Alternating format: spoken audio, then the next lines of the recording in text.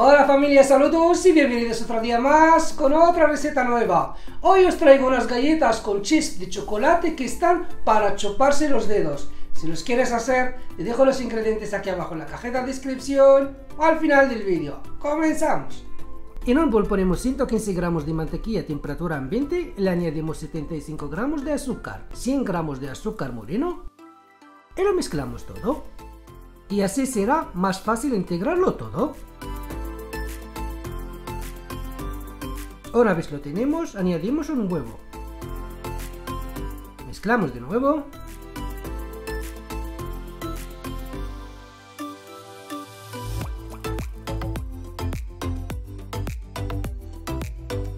Eso ya casi lo tenemos. Por un colador pasamos 225 gramos de harina, una cucharada de maicena, una cucharadita de levadura y tamizamos todo. Una vez lo tenemos, añadimos una pizca de sal y mezclamos de nuevo. Mientras tanto aprovecho para invitarte a suscribirte al canal, activar la campanita y dar a me gusta. De esa manera no perderás ninguna receta nueva.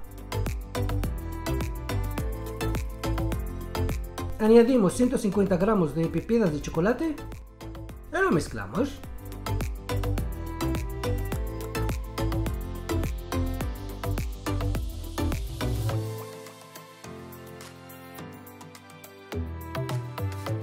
Una vez también integradas, con una cuchara cogemos la medida. Le damos forma de bola y las colocamos sobre una bandeja. Y así con toda la masa. Vueltita, bolita y colocarla. Una vez la tenemos todos, la llevamos al frigorífico durante una hora o en el congelador durante 10 minutos. Pasado el tiempo la colocamos en la bandeja de horno y los llevamos al horno previamente calentado a 180 grados durante 18 minutos. Pasado el tiempo, y esto ya huele, abremos el horno y mira qué maravilla. La sacamos y la dejamos enfriar. ¡Qué pinta!